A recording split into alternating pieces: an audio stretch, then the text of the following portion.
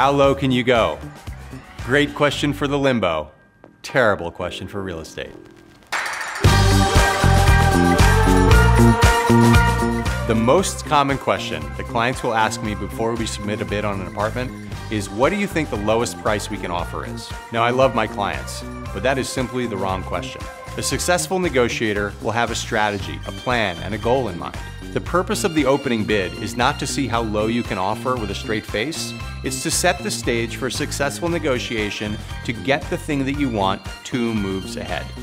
Where will the apartment trade is the question you should be asking. And once you've established that, and the most your client is willing to pay, and still be happy if they get the apartment and not upset if they don't, only then do you start working two steps backwards to establish the proper opening bid.